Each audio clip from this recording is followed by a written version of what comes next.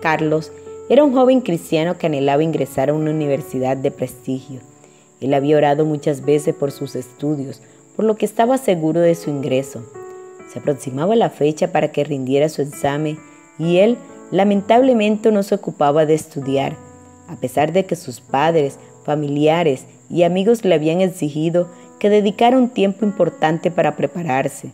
Carlos se empecinó en creer que las buenas notas caerían como bendición del cielo por su oración.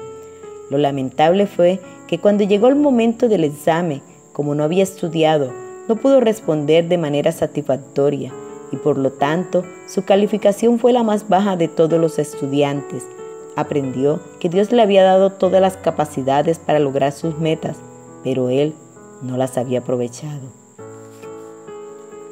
En el libro de Proverbios capítulo 6 versículos del 6 al 11 dice la palabra, Mira sus caminos y sé sabio, la cual no teniendo capitán, ni gobernador, ni señor, preparan el verano su comida y recogen el tiempo de la siega su mantenimiento.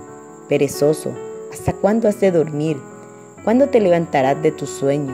Un poco de sueño, un poco de dormitar y cruzar un poco las manos para reposo Así vendrá tu necesidad como caminante y tu pobreza como hombre armado. Segunda carta a los tesalonicenses, capítulo 3, versículo 10 dice la palabra, si alguno no quiere trabajar, tampoco coma. La palabra de Dios nos dice que seamos sabios y tomemos como modelo a las hormigas, que sin tener un capitán o alguien que las dirija trabajan por su alimento y se preparan para el tiempo difícil. En diferentes partes de la Biblia podemos observar que a Dios no le agrada la flojera o holgazanería. Muchos piden al Señor un trabajo, pero esperan que alguien toque su puerta y les diga que desde mañana empiezan a trabajar. Otros piden ser grandes artistas, pero no dedican tiempo para estudiar o perfeccionar su talento. Qué interesante que Dios puede escoger un insecto tan pequeño e insignificante para darnos una lección tan grande y de gran valor. Hay mucho que aprender de la creación de Dios si tan solo tomamos el tiempo para aprender. En lo que concierne a la hormiga, ella nos demuestra la virtud de la diligencia, lo opuesto a la pereza. Dios nos dice en este día por medio de su palabra que hay que ser humildes para aprender de la hormiga. La hormiga tiene mucho que enseñarnos, aun cuando parezca que no es así. En ocasiones uno puede ver un hormiguero lleno de hormigas moviéndose en todas las direcciones como si anduvieran desorientadas y sin dirección en su trabajo, pero al asumir esto es incorrecto, ya que su actividad es siempre dirigida con un propósito y con productividad en su labor. También vemos que la hormiga no tiene jefes ni capataces para ser diligentes en su labor. Ellas no necesitan a alguien que esté obligándolas por la fuerza a trabajar. Nosotros trabajamos voluntariamente. O necesitamos a alguien que siempre nos esté empujando, animando, o ordenando hacer lo que ya sabemos que tenemos que desempeñar. También recoge en el tiempo de la ciega su porción, todo lo opuesto del perezoso. La hormiga aprovecha bien el tiempo apropiado de trabajar para sacar mayor fruto. Una pequeña hormiga puede convertirse en un gran maestro para mostrarnos las lecciones de la perseverancia, la confianza en sí misma y la dedicación.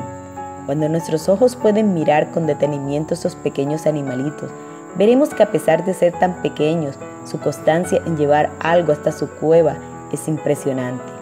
En la Biblia, Salomón menciona a las hormigas como ejemplo de laboriosidad y previsora sabiduría.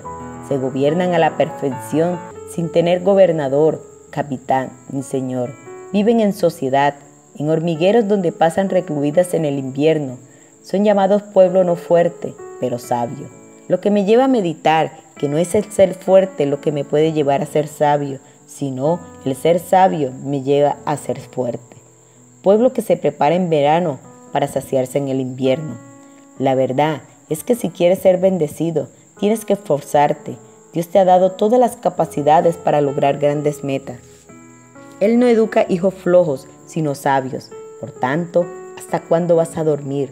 Levántate y ve por tus sueños, esfuérzate y sé valiente, porque el Señor irá contigo.